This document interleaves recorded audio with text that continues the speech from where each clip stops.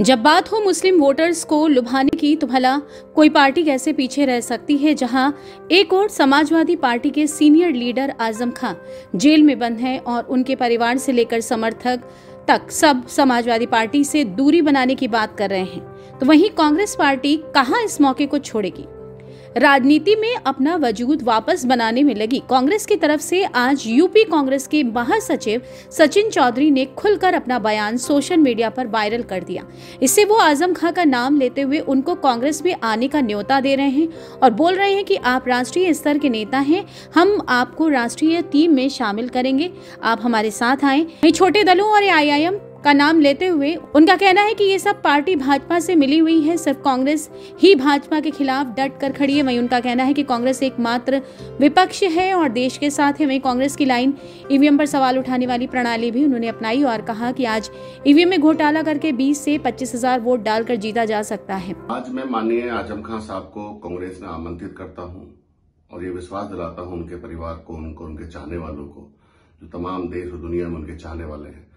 Congress party में राष्ट्रीय स्तर पर वो रहेंगे, क्योंकि वो राष्ट्रीय नेता है।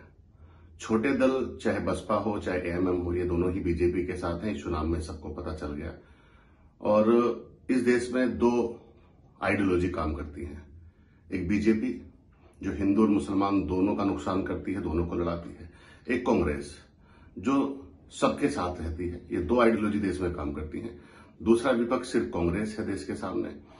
तीसरा कोई विपक्ष नहीं है फ़िलहाल। कांग्रेस महासचिव यही नहीं रुके और मीडिया पर भी तंजे कसने लगे और ये तक कह डाला कि ये जो लोग दंगे कराकर फुटेज चलाते हैं उनसे भी सब हिसाब लेंगे। आगे उन्होंने क्या कुछ कहा जरा आप भी सुनिए। तो मैं निवेदन करूँगा माननीय आज़म खान साहब से वो मेरी इस अपील को स्वीकार करें और एक बार मौका दें कांग्रेस में सबका सम्मान होता है और आज छोटे जितने भी दल है ये ये कहीं ना कहीं बहुत जल्दी डर जाते हैं लेकिन कांग्रेस इस देश की बुनियादों में है देश की आज़ादी में है देश के लोगों के साथ है। आज जिस तरह से चुनाव जीते जा रहे हैं ईवीएम को हैक करके 20-20, 25-25 हज़ार वोट वोट जो खुद डाली जा रही हैं वो देश आप बचा सकते हैं आज आज़म खान साहब।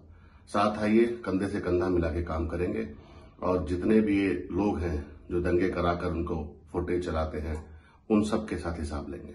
वही देखना ये होगा कि क्या सपा नेता आज़म खां कांग्रेस महासचिव सचिन चौधरी के इस बयान को गंभीरता से लेते हैं या नहीं।